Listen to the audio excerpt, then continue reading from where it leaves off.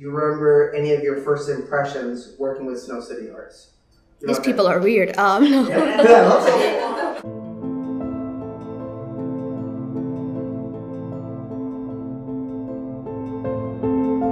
they came in like Gabe and Molly, and they were like, "All right, what do you want to do? Like, what what do you think is cool? We can do this and this and this." And I'm like, "Yeah, I can't do any of that."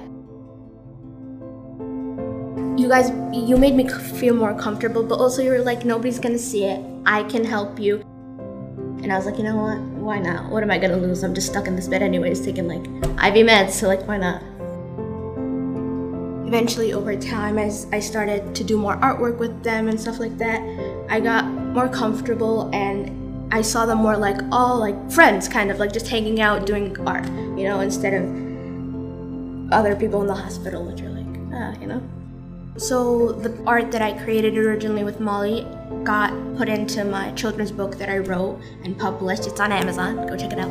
Um, and I decided to make it about like a panda and her experience at the hospital, meeting all the cool people like the child life specialists and the doctors, and I made them all kind of like animal themed and gave them names because you know it's like more of a fun way of looking at it uh, to make the hospital not look as scary. And then um, I worked with Snow City Arts to kind of bring it to life.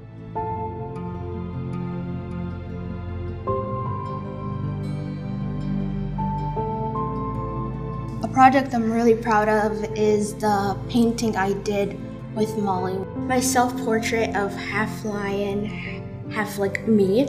Um, it took a while to do, but after it was finished, I was very proud of myself because to be able to like look at it and say, yes, I got some help with it, but that was all like most of it was me and my ideas.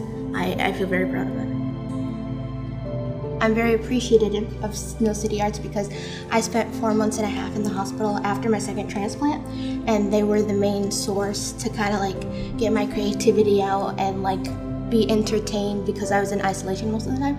So I really appreciate working with all the artists and stuff.